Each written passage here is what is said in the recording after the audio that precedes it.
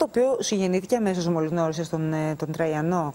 Υπάρχουν δηλαδή εκείνες οι Ναι. γυναίκες που με το που βλέπουν, ε, γνωρίζουν έναν άνθρωπο, λένε ότι από την πρώτη στιγμή ότι ήξερα ότι θα είναι αυτός που θα, θα κάνω μαζί την οικογένεια. Και υπάρχουν και άλλες που λένε Όχι, δεν το περίμενα στην πορεία. Όχι, ήξερα ότι θέλω.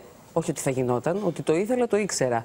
Ότι θα γινόταν ήταν λίγο, ήταν αρκετά δύσκολο θα έλεγα. Γιατί; Στην αρχή. Γιατί όταν γνώρισα τον άντρα μου ήταν σε μια πολύ περίεργη φάση.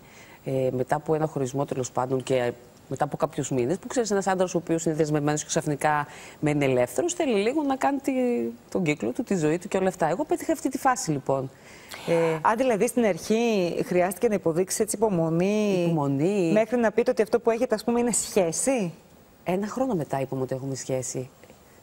Όχι, κατά μένα είχαμε σχέση από το πρώτο λεπτό. Κατά τον τρένο είχαμε σχέση μετά από ένα χρόνο.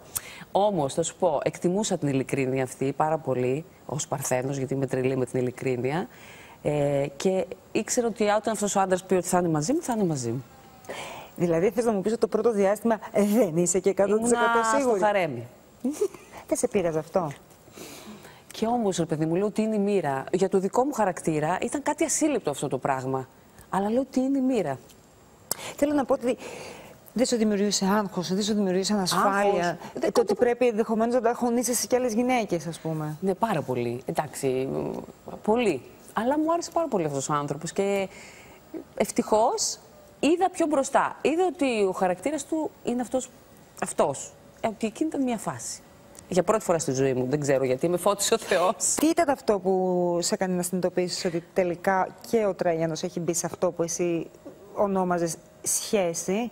Σου έκανε κάποια κουβέντα, ε, ήσασταν κάπου Όχι, και μου το είπε να πάμε ένα ένιωσες; ταξίδι σε μια, σε μια προετοιμασία έτσι μήνυ που έκανε μόνος του τότε.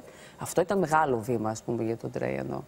Ε, μετά, να κα- καλά, είχε πολύ γυαλιά. Έμενα στο σπίτι του επί μήνες και δεν είχα κλειδιά. Τι άλλο να σου πω; Δηλαδή, τα κλειδιά ήταν και καλά η διαπίστευση ότι, α, η βούλα, ξέρεις. Ε, ήταν παραδοσιακός στον τρόπος ας πούμε, που σου ζήτησε να κάνετε οικογένεια και να προχωρήσετε. Δεν μου ζήτησε να κάνω Ενώ να οικογένεια. παντρευτείτε. Προέκυψε. Πρώτα προέκυψε η εγκυμοσύνη και μετά ναι, προέκυψε παντρευτήκατε. μια εγκυμοσύνη η οποία δυστυχώς δεν ε, ευδοκίμησε. Είχες αποβολή. Ναι, είχα, ναι. Ε, στους δύο, δυόμισι μήνες περίπου. Ε, τότε είχα πάθει και ένα μικρό σοκ, γιατί ξέρεις, άμα είσαι κοντά εκεί 34-35 χρονών και έχεις μια εγκυμοσύνη και η οποία την άλλη δεν, δεν την περίμενε ούτε αυτός, σου έχει πάρει